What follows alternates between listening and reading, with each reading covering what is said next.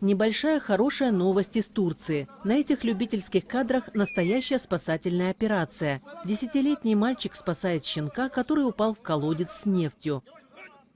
Инцидент произошел в Дияр-Бакыре на юго-востоке страны. Спасенного щенка мальчик отмыл в близлежащем пруду.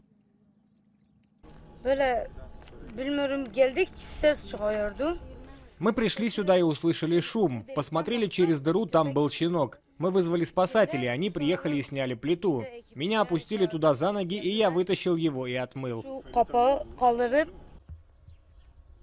Спасенный и отмытый щенок выглядит вполне здоровым и жизнерадостным. Его накормили, и сейчас он отдыхает. Животное, похоже, даже не поняло, что произошло.